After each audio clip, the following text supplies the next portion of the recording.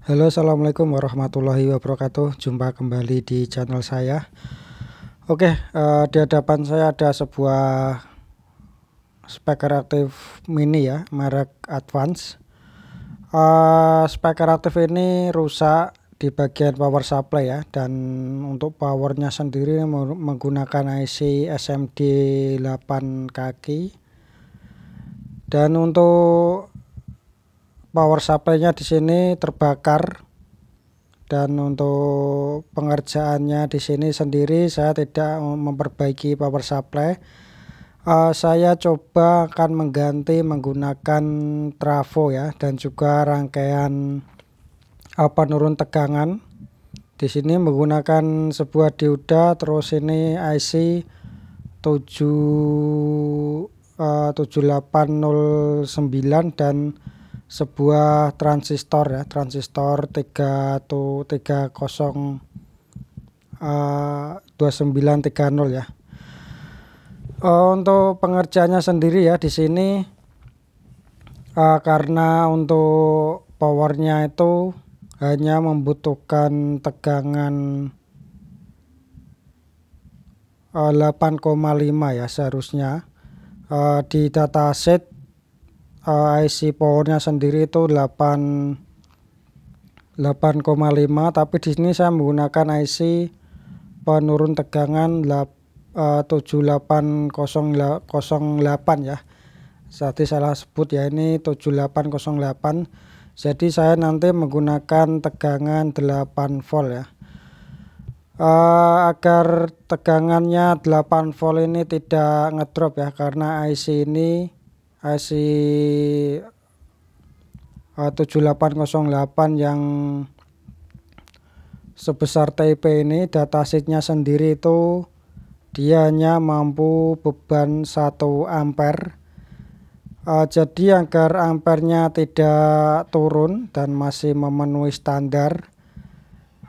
Kita membutuhkan satu buah transistor final transistor plus ya bisa menggunakan tipe apa aja ya yang penting transistor plus. Uh, itu bertujuan agar uh, ampernya tidak turun ya. Kalau tanpa transistor itu walaupun trafo sebesar apa ampernya kalau lewat hanya lewat IC penurun tegangan itu otomatis ampernya ikut turun ya yaitu mengikuti berapa ampere IC itu uh, berfungsi karena di datasheetnya sendiri ini IC-nya cuman di 1 ampere ya kalau nggak salah ya bisa dikoreksi. Oke ini saya rangkai penurun tegangan dari 12 volt karena saya cari uh, trafo ya yang murni 8 volt itu yang 2 ampere tuh ya sulit ya mana dapat ya. Jadi uh, tidak ada salahnya ini saya merangkai sebuah penurun tegangan tanpa mengurangi ampere yang keluar output dari trafo. Jadi nanti insya Allah output trafonya 2 ampere ya walaupun diturunin tegangannya memakai IC nanti ampernya masih tetap uh, stabil 2 ampere ya. Uh, ini bertujuan karena model begini ya model speaker aktif kecil seperti ini itu sangat sulit di uh, harus telaten ya. Apalagi kalau memakai IC SMD itu ampernya harus benar-benar stabil.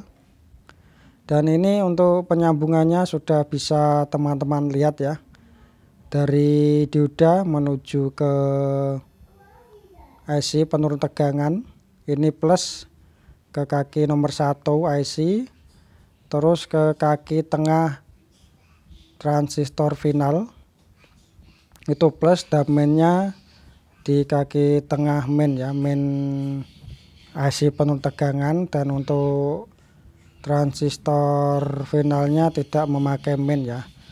Di kaki nomor satu itu input dapat kaki nomor tiga IC uh, penurun tegangan dapat kaki basis dan outputnya di kaki emitor ya.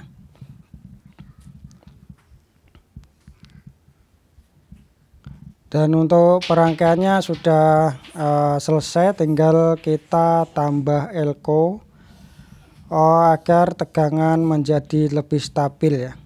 Di sini sudah saya tambah elko ya elko nya besar dan kecil enggak masalah. Bisa teman lihat sendiri di sini ya elko nya untuk elko uh, dari output output dioda terus di output emitter ya. Untuk skemanya nanti bisa saya cantumkan ya di gambar. Dan seterusnya kita langsung saja cek ya kita pasang uh, trafo ke dioda dioda uh, bridge di sini saya memakai dioda bridge ya di sini tinggal pasang saja karena trafonya trafo DC ya, tidak memakai CT itu cuman dua buah kabel yang saya pasang. Ini cukup mudah, ini trafo bekas uh, tape combo 12 volt ya. Karena butuhnya cuma 8 volt jadi ini saya turunkan menjadi 8 volt ya.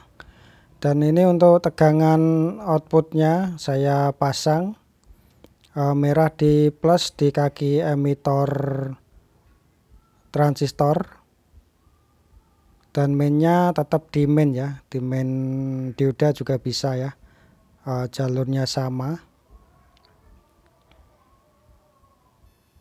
Oke setelah tersambung kabelnya tinggal kita pengetesan ya. Di sini sudah hidup untuk indikator lampunya tinggal suaranya bisa kita dengar sendiri ya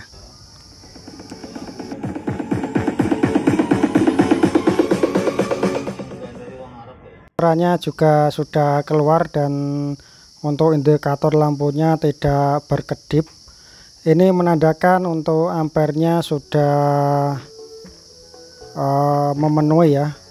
Uh, biasanya untuk speaker aktif kecil dan memakai IC SMD ini uh, sangat sulit penanganannya karena uh, dia membutuhkan uh, ampere yang besar ya. Walaupun voltnya kecil itu menggunakan ampere yang besar karena kalau walaupun uh, voltnya itu uh, sudah memenuhi tapi ampernya kecil uh, itu biasanya uh, suaranya agak magep-magep atau kalau terkena dentuman bass dia mati ya mati sendiri. Nanti uh, hidup lagi mati sendiri hidup lagi ya kalau ampernya tidak memenuhi.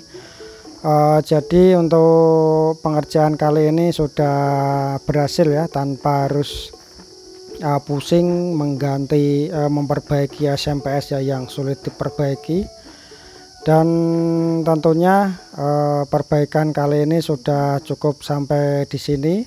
Dan terima kasih yang sudah menonton video ini.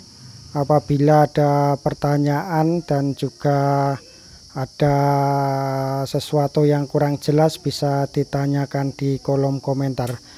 Oke terima kasih yang sudah menonton. Jangan lupa like komen dan juga share.